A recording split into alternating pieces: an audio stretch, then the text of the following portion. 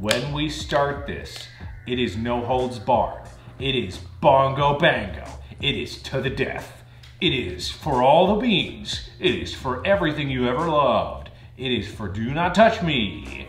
If you win, you can touch me. Ethan, your reputation on the internet will be tarnished after this episode because Why? I'm going to destroy you. Why? My reputation on the internet is already tarnished by myself.